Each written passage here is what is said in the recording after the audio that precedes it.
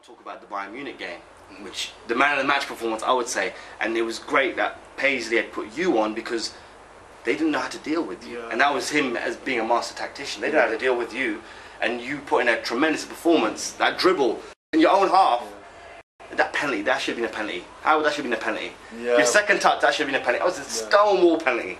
Yeah, well, again, the Germans were, were meticulous um, with their approach in.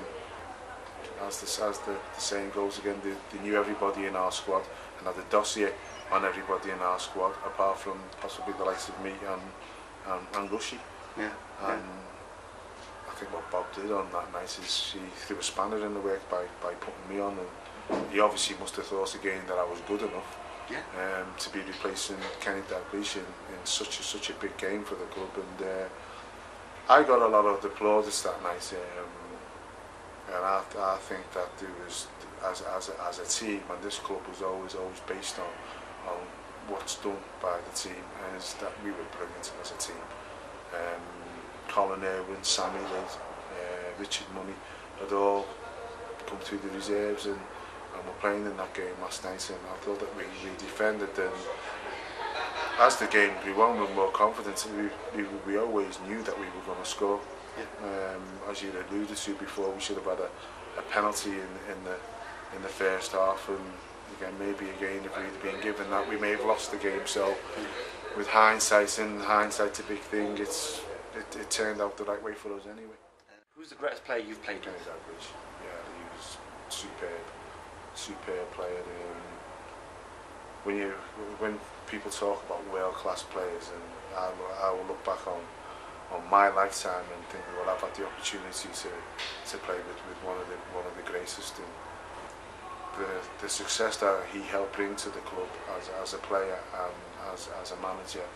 And again, you know yourselves with being Liverpool fans of how well he's revered to by, by, by the Kop and the people in the stadium um, on match days, and he's, he's, he's loved it, and, and rightly so.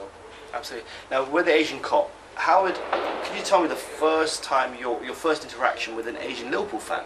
Yeah. Do you remember that interaction? Do you remember when that? Um, yeah, well, I've got again, I've got a lot of a lot of my friends um, come from from all over again, from all over the, the world as well as all over this country. Um, I know through myself and, and John Barnes, we, we've always been asked this question over over the years um, of diversity within football, Mm. and although we've got such a, a big Asian population within the UK, how nobody really from the Asian community has broke into or made a major impact within side um, professional football and um, I think in years gone by through the, the culture of Asian families is that maybe that the, the, the fathers and the parents haven't encouraged the boys to be going down the line of professional football and have always wanted them to go down the, the route of a more academic um, career which was going to be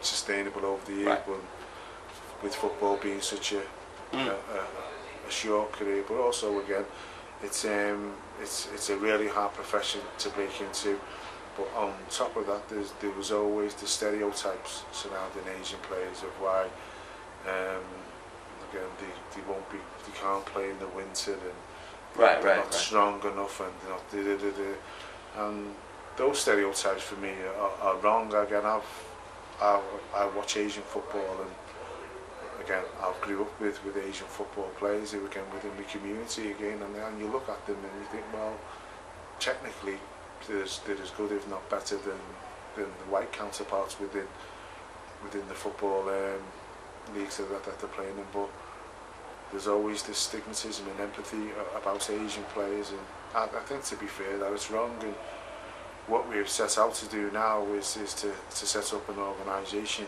that's going to encourage the links between um, Asian football and professional football. Because I have been to a lot of um, events, uh, Asian tournaments and you have young people, I mean? What about us, what about us, why can't we, why can't we? And I've even gone to events where we've encouraged scouts from local football clubs to to attend and I think football is like is is like um, is like trends and I think that once the, the first Asian player gets into the Premier League and becomes a star, then everybody it's like a breath of fresh air. So we can relax now again. no, they're not all, they're not as what, what we thought. And here we go.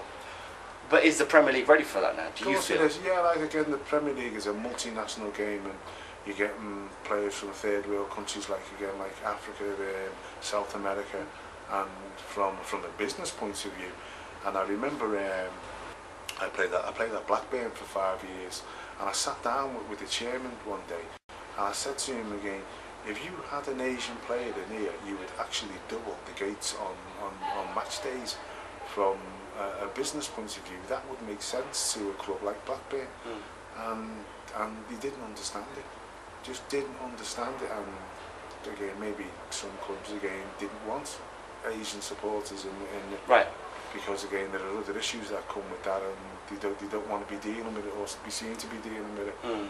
but from a, from a, a financial or a business point of view um, you you walk around this ground on match days and you hear the different languages and the different cultures that come to, to support the club and you see from as a brand how big we are then you can understand the importance of, of, of, of welcoming all kinds and you see a lot of clubs now who are going into Korea and, and Japan and China and bringing players here um, some of them again are good players, some of them are maybe average players, but it's the market revenue from those countries which which promote them here. Yeah, because Damien Comolli's actually recently said that they he wants to find the next Asian star Yeah. and bring them to Liverpool. Yeah. And yeah, that'd be great.